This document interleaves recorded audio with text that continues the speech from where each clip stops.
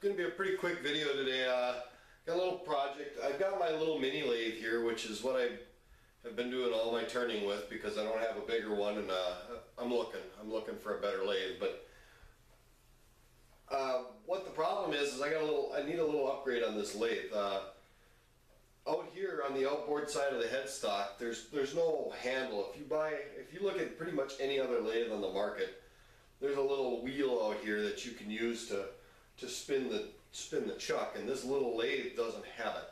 Uh, all it has is this little plastic cover on that, and I, am gonna fix that problem today. I'm gonna, you know what? I got a I got a lathe, I got wood. I'm gonna turn myself a little round wheel to mount on the end of this. So uh, without any more uh, without any more chatter, let's uh, go ahead and relocate the camera, and I'm gonna show you what I'm gonna do. All right, so you can see here on this on this lathe, it's just got a little plastic cover on here, and I've I've kind of already taken the taken the liberty to to pull a couple of screws out, and uh, so if we take out this final screw, remove this stupid little plastic cover. Now they you see in here.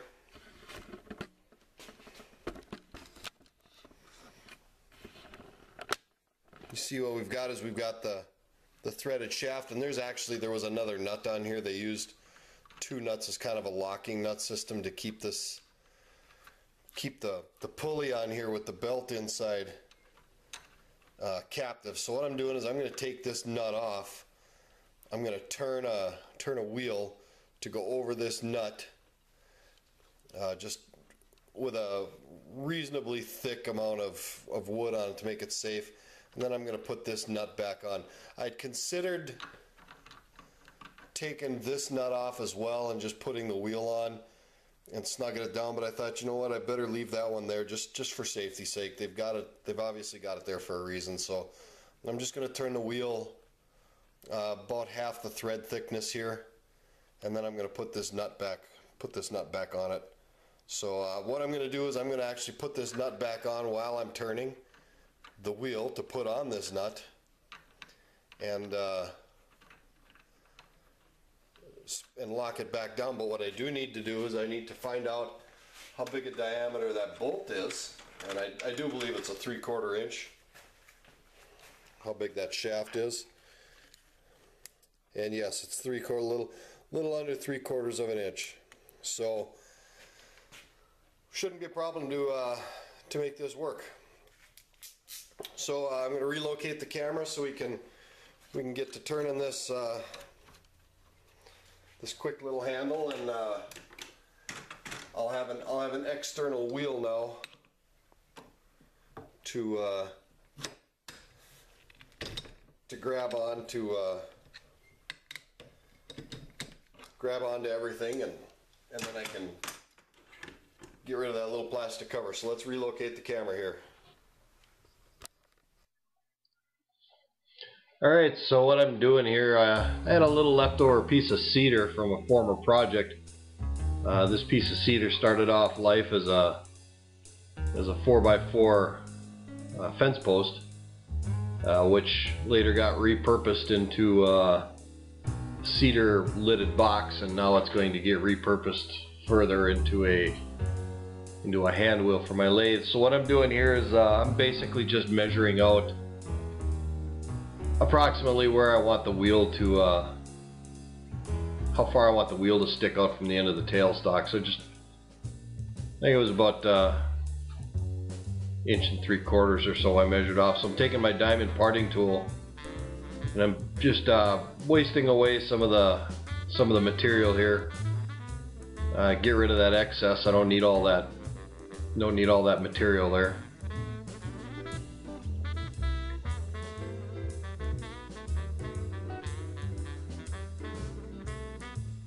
Started to chatter here a little bit, so uh, I was getting a little long on the chisel.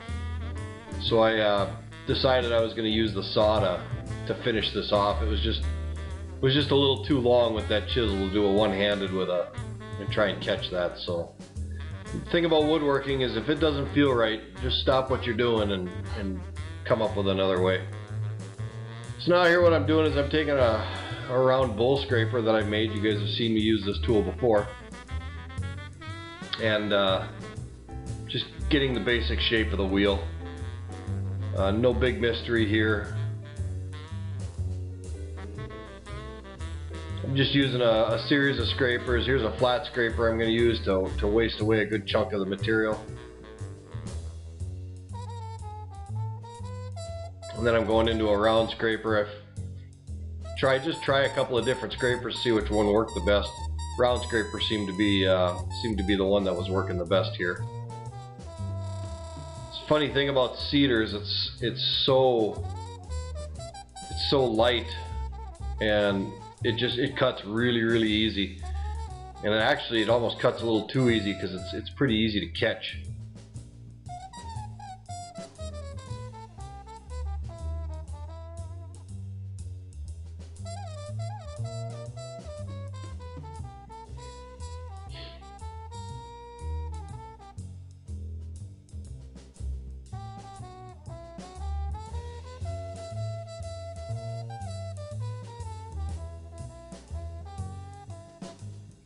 So now I'm coming back to that round bowl scraper and get you a better camera angle here. Coming back to that round bowl scraper and we're just now we're now we're getting into good shaping on how I want the wheel to look.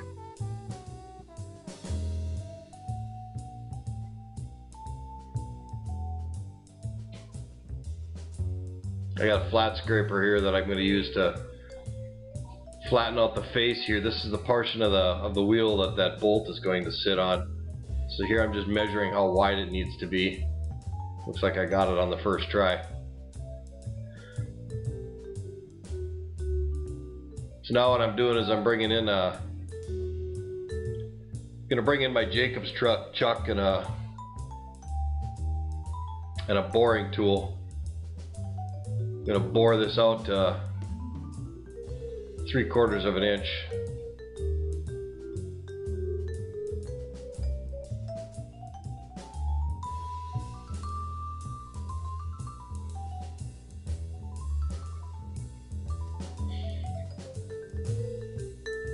This way I know it's it's true with the lathe and there won't be any wobble when I mount it on the other side.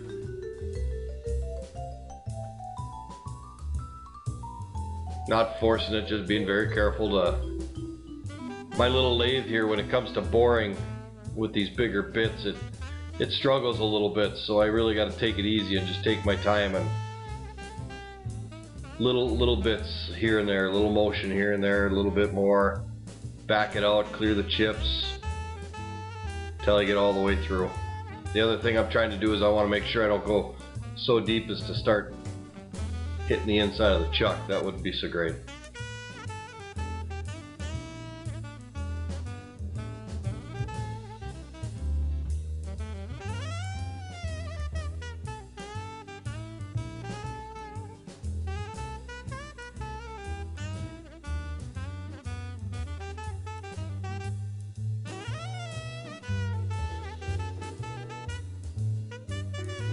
I got the hole all the way through and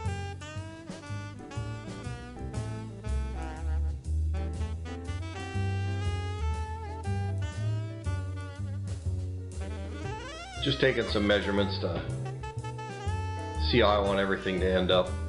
Now it's just now it's back to more shaping. Now that I've got the the hole for the shaft drilled, more shaping to just finish up how it how it's gonna look. All I did here is I used a series of scrapers and uh, here I used a, a 3 8 inch spindle gouge uh, just to make the taper on the back side of the wheel.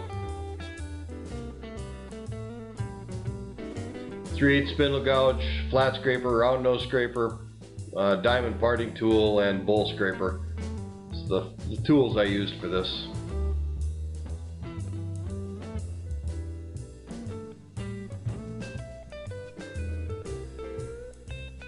Nice thing about cedar is it sands so fast.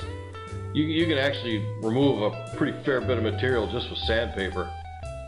So uh, I got it. I got it basically the shape I wanted it, and then uh, and then just use sandpaper to finish it up. Now what you don't see here is uh, after the sanding is done, I actually went to fit it onto the spindle shank and uh, realized that I needed to recess the backside of the wheel to make it accept the nut on the backside, which you'll see in the next in the next set of video. But here I'm just finishing up some sanding to to clean it up. For the most part, like I said, I just I just made a basically round wheel with round edges. I didn't do anything terribly fancy.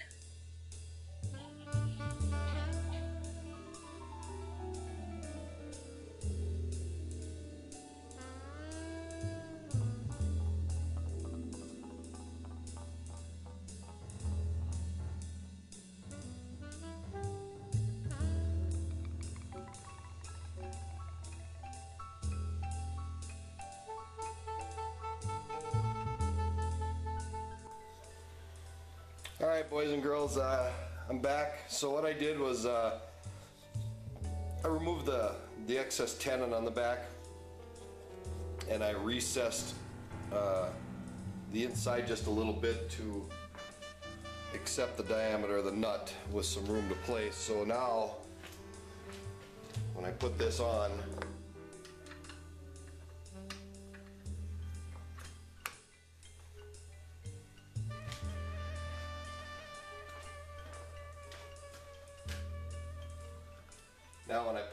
it's nice and snug and tight. So I'll put the put the wrench on here. Give her a good snug up.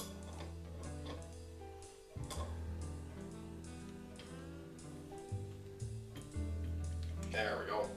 And the nice thing is about it is when I got my hand on it to do whatever, usually the lathe is spinning this direction, it'll, it'll tighten the handle back up. So uh, I had to put this thing in the back into my chuck, so it left some marks. So what I'm gonna do, I actually had to go to the maximum diameter of my jaws. I'm going to uh, sand those marks out. Once again, the beauty of cedar is it sands really, really nice. And the other beauty is, is this is also spinning, so I can just put this sandpaper right on here.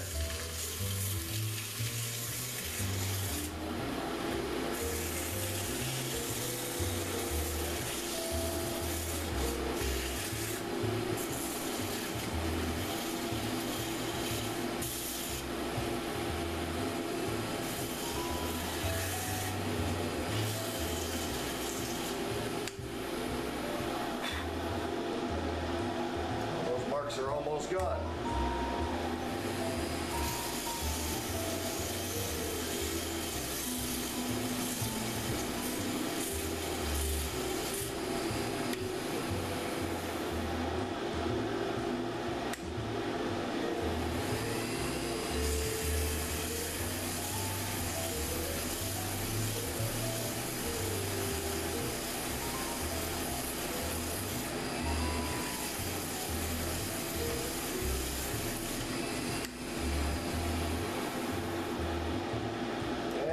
Are pretty much gone now. Gone enough. So now we'll uh,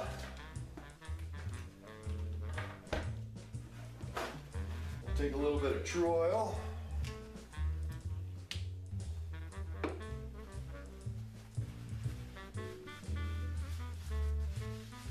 Expand out here just a little bit.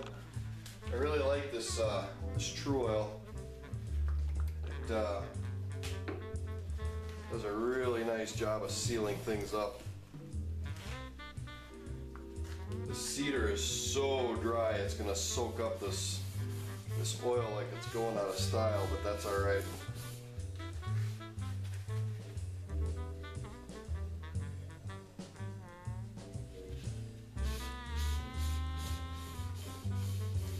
But I won't bore you with the gory details of the finishing, so I'll uh, I'll finish it up and then I'll come back and I'll put a few coats on this thing and then I'll come back and finish off with you.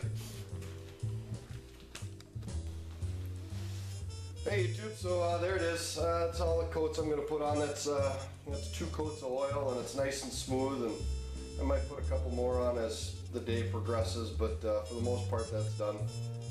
Uh, accomplished exactly what I wanted it to do. I uh, I got a got a wheel on the outside of my headstock, which is something that this lathe didn't come with, and I guess that comes with the paying, paying, paying barely over a hundred dollars for a lathe. Granted, it's not that big, but it, it does what I need it to do for now. New lathe is new lathe is being worked on. At any rate, there it is. Made a wheel, pretty simple, little 20 25 minute project. I knocked it out there, and it uh,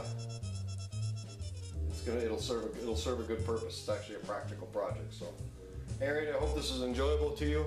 Uh, please. Uh, subscribe to my channel if you like what I'm doing here. If you don't like what I'm doing here, tell me what I can do to do differently. Uh, have fun, keep turning, be safe. It's only fun until somebody loses an eye. So uh, that's all I got for today. Have fun. Thanks.